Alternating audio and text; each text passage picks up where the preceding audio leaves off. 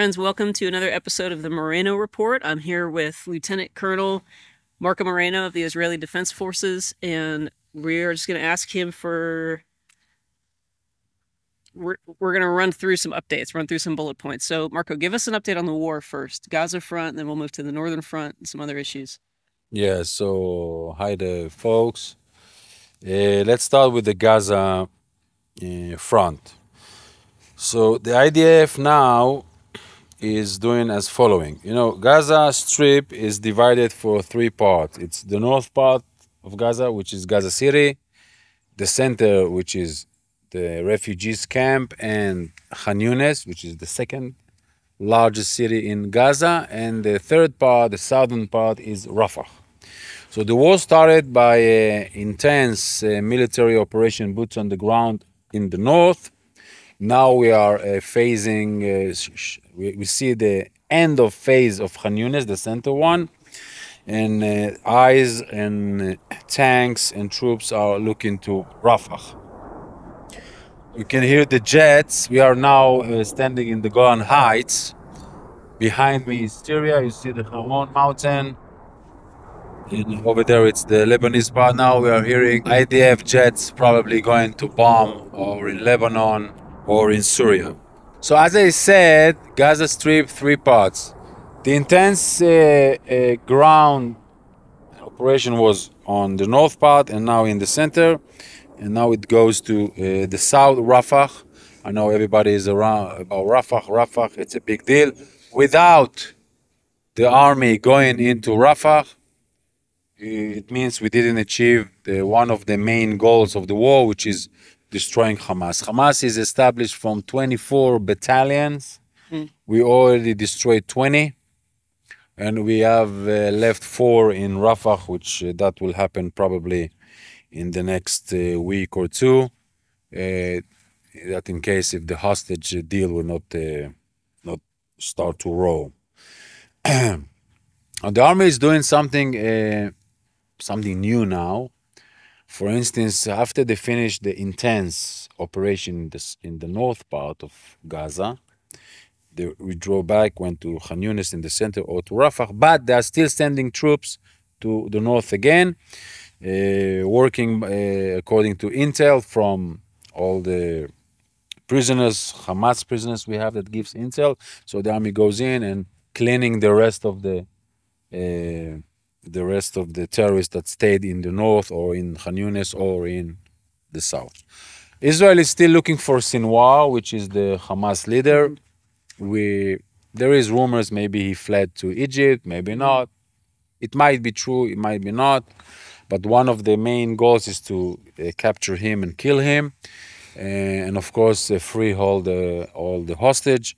Uh, I think in person that the only the only thing that will bring back the hostage back is a military operation or military pressure, nothing else. Everybody knows Hamas, in order to do the hostage deals, is talking about let's end the war, end the war, rebuild Gaza for us, give everything back. Let's go back to our yeah, take a white flag and surrender. It's yes. it's craziness, and probably will not happen. So uh, that's Gaza. North Front, as you can hear, we are still in the same field. Which is what? What is the field? The field is that Hezbollah is shooting over here. We are shooting over here. No one is breaking the rules. And I think the IDF or Israel is waiting until the Gaza Strip war will go down, and then you will see troops coming from Gaza here to the north, and then probably a, a big war will uh, happen here in the north, which will be very, very hard and difficult, especially for the civilians that lives in the north part of Israel and even Tel Aviv. Uh, there are talks about the political or something agreement. I don't believe in it in person because you cannot do any kind of an agreement with a terror organization. Mm. That case, Hezbollah. The Iranians are saying to Hezbollah, don't break the rules because we don't want to lose you. Mm. We already lost Hamas okay. as a proxy or as a main proxy. We don't want to lose you guys here in the north as a proxy. We still need you uh, to achieve our nuclear uh, inspiration, and then let's see. But uh, it's complicated. In any case, the life in Israel now is that in the north, people are living kind of kind of a weird situation. They don't know what to do. There is a war. There isn't a war. There are some places that uh, you know it's like it's like Yom Kippur ongoing all day long. Yeah. Everything is closed. Nothing is.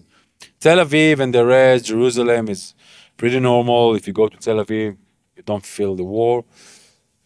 But that can change if if the war hits here in uh, in the north, in the Lebanese front, Syrian front. It's uh, pretty quiet now. Uh, Israel in the last few weeks uh, attacked massively Iranian presence, which I think led the Iranian to withdraw back and call all their officers back to Tehran in order to save them. And uh, so that's for that.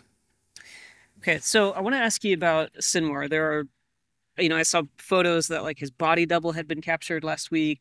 Obviously, he's the like if we can capture Sinwar, it would be like capturing Saddam Hussein when the Americans invaded Iraq. It would be like getting bin Osama bin Laden. he's, he's the guy.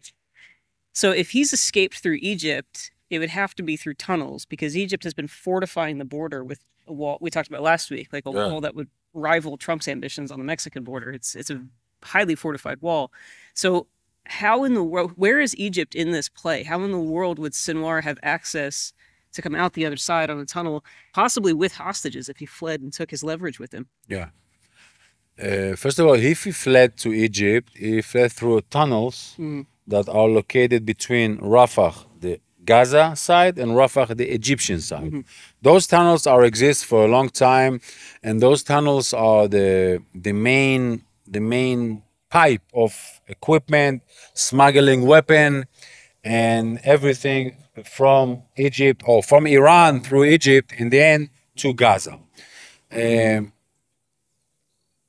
the, he has relationship with the Salafist group in Sinai, Okay. which are against the uh, Egypt, the, the, the Egyptian regime. Which actually has a peace deal with Israel. Yeah, which is a cold peace deal, but they have a peace deal, and we have good relationship with the Egyptians in terms of security and others.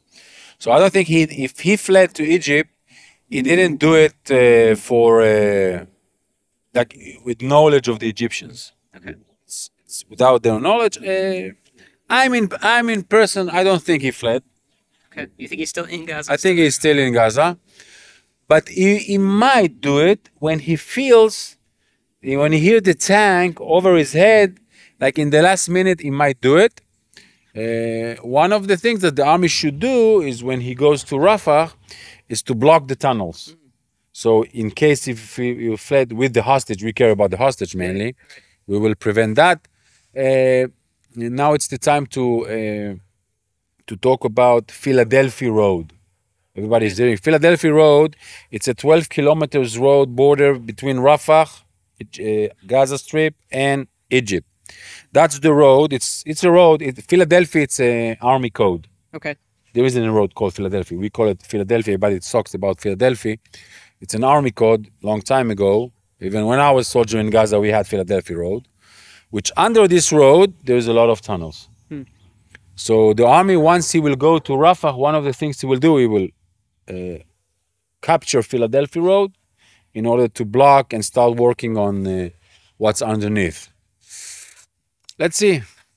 So one thing that's happening this weekend, you know, we're filming this middle of the week. This episode will release in a couple of days, um, and there is there was an announcement or or an intel leak that Putin has invited um, the leaders of Hamas, Palestinian Islamic Jihad, and the Palestinian Authority to meet.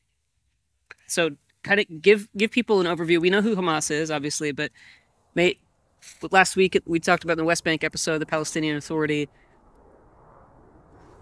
Who is it? Palestinian Islamic Jihad? How are these things separate? How are they the same? Palestinian uh, Islamic Jihad. As guys, as you can hear, the army is not respecting the show. is sending uh, As we're Jets. here. yeah, who think there's the war here? What's going on? But okay, let's be patient.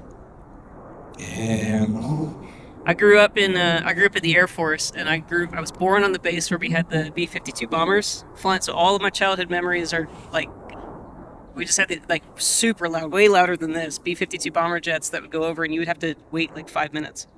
yeah. So we did that for you. You feel comfortable here as you. Yeah, as it was, it was pre gaming. Yeah. Um, so Palestinian Jihadic Islamic, it's another terror organization. Sunni, Mm. one. Um What Hamas and the PA are they also Sunni? yeah, Hamas and PA are also Sunni.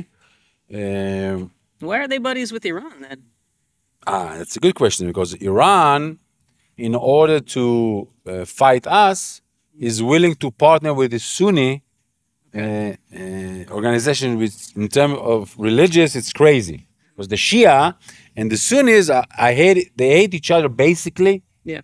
more than they hate us. But in order to overcome the Zionists, it's nice to partner uh, with them. So uh, The thing that will bind the fractured house of Islam is the hatred of the Jews. yeah, So Iran is Shia, Sunni's Muslim, Mhm. uh, and Shia is Muslim. Saudi's Sunni. Saudis is Saudis and Qatar. Saudis uh, looked on themselves as the leaders of the Sunnis world. Mhm. Iran consider herself as the leaders of the Shia world. And Qatar is in between. Qatar is with everyone, by the way. He's Yeah. with the Sunnis, with the Shia, with the Americans, with the Israelis, with everybody. They are ba- they are buying themselves. They are buying their way all over, uh, all over. So uh, Okay, so Iran's hanging out with these Sunni terrorist organizations. sponsor them money, training, equipment, everything. Saudi right now is trying to broker a normalization deal with the Zionists, with Israel. Yeah. In order to fight Iran. So you can imagine just the quagmire of the, the chessboard here. And then you have Putin saying, hey guys, come for coffee. What's going on there? Yeah. That's that's that's exactly the point. Putin is feeling is left uh, outside from what's going on in the Middle East. Hmm. And in the end it's He's his sad. He feels left out. yeah, He wants friends. and uh, he wants like it's one of his thing against America, Mhm. Where I'm influent in this region. That's the reason he's doing it. Uh, we have a pretty mixed relationship with Russia. Hmm. On one hand, we have good coordination with them in Syria, but in the other hand, you see him hosting Hamas and all terror organization uh, against uh, against us. I think it's it's related to the relationship and the war in the Ukraine, uh, which everybody forgot now. Everybody, all the eyes are in Gaza, so everybody forgot about the Ukraine. But he's still Mm. doing it, what he's doing, the bad things he's doing in Ukraine, and actually winning the war. But uh, I will not take it. It's not that serious that he's hosting them. He can host them. He's, he's not uh, different from Arazwan, the Turkish guy, or someone else. So let's talk a little bit more about this the Saudi component and the because it's they're brokering a bit. It will normalize with you, but there's got to be a Palestinian state.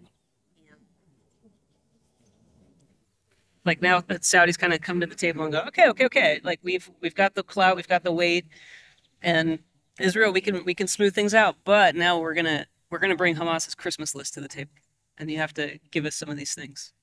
Where do you see this going?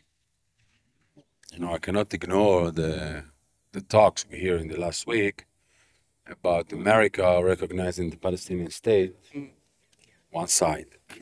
Now, a state would be different. Like they have the territories now. We were in the West Bank last week. A state would give them military autonomy, political autonomy. Like, what are the? Yeah, it's immediate it's, it's not about the immediate danger. It's like the declaration of it. Like Mm.